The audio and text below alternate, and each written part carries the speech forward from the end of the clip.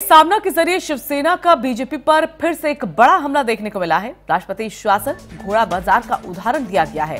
उन्होंने कहा है कि हम नहीं तो कोई नहीं का अहंकार है और बीजेपी वचन पर कायम रहती तो ये हाल नहीं होता। ऐसा करना महाराष्ट्र के हित में नहीं है और ये दावपेच नहीं, शिवसेना को नीचा दिखाने की साजिश की जा रही है। तो महाराष्ट्र की अस्थिरता मिटाने के लिए नीलकंठ बनने को तैयार, बीजेपी को पंद्रह दिन का वक्त और शिवसेना को 24 घंटे भी नहीं मिले।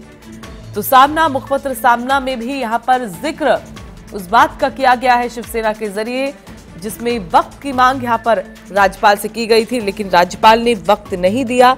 और अगर वहीं बीजेपी की बात करें तो बीजेपी को 48 घंटे, यानी कि तकरीबन अगर देखा जाए कुल मिलाकर तो 15 दिन का वक्त बीजेपी को दिया। लेकिन ऐसे में अब कड़ा रुख यहाँ पर इख्तियार कर लिया है शिवसेना ने, और इसे को लेकर अर्जी दाखिल की गई है। और अगर सामना का ज़िक्र करें, ऐसा क्यों हुआ?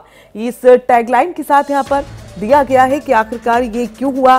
कहीं ना कहीं जो अहंकार है, वो लगातार ये कोशिश कर रहा है कि शिवसेना को नीचा कैसे दिखाया जाए। ये तमाम तरह के दावपेच जो है, अब बीजेपी चल रही है और महाराष्ट्र की अस्थिरता मिटाने के लिए शिवसेना नीलकंठ बनने को भी तैयार है।